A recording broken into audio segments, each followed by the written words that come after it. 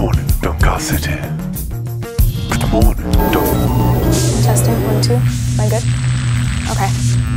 There's more than enough food. That is what I am here to tell you. That is the truth.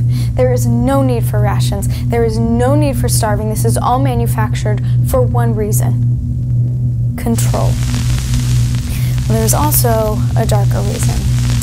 That reason is the ruling class doesn't want to build more housing and doesn't want to expand poorer neighborhoods. A manufactured food crisis will result in death. That's a pure and simple fact. Population control. All about control. Don't believe me? And you believe this man, heir to Gad Industries, was the mastermind behind the plan called Urban Cleanse. Now, for those of you who are at the end of your rope, I mean, we've set up pre scrambled drop points where bread and other goods can be traded. For now, I'm going to see what I can do about Gad and his plan, perhaps. Some face to face negotiations are needed. We'll check back in you soon about my progress.